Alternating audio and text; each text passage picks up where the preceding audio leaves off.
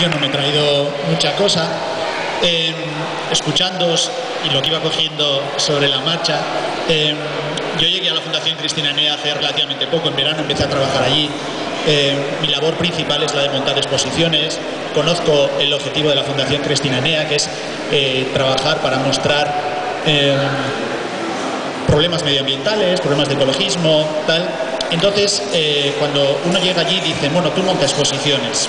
Y dices, bueno, exposiciones se pueden montar relativamente eh, fácil, pero bueno, tengo que trabajar por un objetivo, ¿no? El objetivo de la, de la fundación. Y estando allí los primeros meses me encontraba con que el centro donde nosotros estamos eh, es un palacio, un palacete del siglo XIX que está en medio de un parque gigante, relativamente grande allí en San Sebastián. Todo en San Sebastián es bonito. El palacio está ahí en un bosque eh, artificial con especies de todo el mundo, como si fuera una especie de jardín botánico. Y los primeros días me dediqué a ver quién pasaba por ahí y pasaban eh, familias con niños paseando por el parque y alguno que otro entraba, se asomaba a la puerta y decía, ¿qué, qué es esto? ¿Qué hay aquí? Y, bueno, y escuchándose un poquito, yo creo profundamente en el arte como instrumento de transformación eh, en todo tipo de temas. Yo trabajo unos temas muy concretos.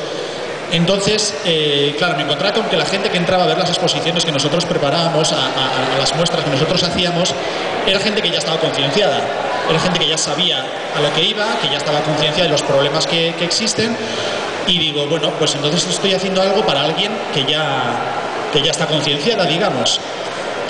Mirando aquí un poquito la gente que está aquí, decía, aquí también entiendo que hay gente que ya está concienciada en esto. ¿Cómo hago yo para que esos miles de turistas, esos mis, miles, millones de, de, barceloneses, de catalanes que andan por aquí, se sientan atraídos a esta, a esta propuesta que hace aquí el, el Drapar?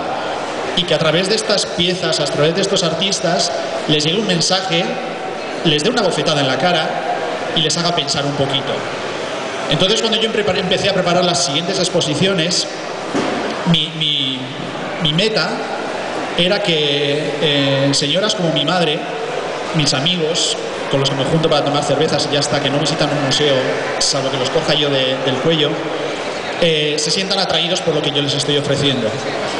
Entonces, claro, eh, creo que alguna comentaba algo que con la intelectualidad de los artistas, yo podría hacer exposiciones mega intelectuales, súper enriquecedoras intelectualmente, teóricamente maravillosas, pero para mi madre es horrible.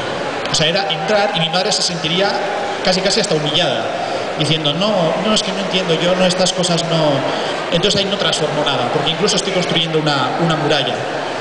Entonces, eh, tengo que proponer algo en la que, y voy a poner otra vez el ejemplo de mi madre, mi madre se sienta cómoda al verlo y si va con unas amigas, le diga a la amiga, oye, ¿tú qué piensas? Esa frase me parece maravillosa. ¿y tú qué piensas? Porque le da pie a que la gente explique su propia opinión, que puede ser la misma, diferente, se crea una conversación y a partir de ahí empiezan las dudas, las dudas de qué estoy haciendo y qué puedo hacer. Eso es lo, eso es lo bonito, la experiencia. Entonces mi objetivo a la hora de montar exposiciones y es uno de los por los que venía yo aquí al rapar, era buscar eh, artistas, piezas que me permitan esas, esas situaciones.